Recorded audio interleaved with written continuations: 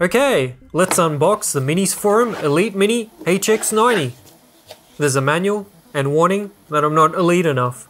This bare bones unit is 599 US dollars and features a Ryzen 9 5900 HX.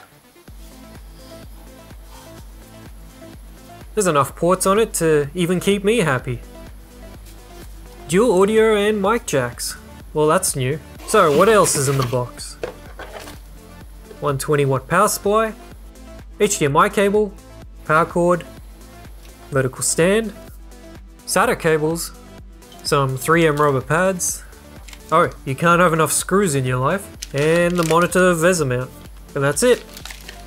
Gaming emulation review coming soon. It's gonna be a banger. Don't miss it.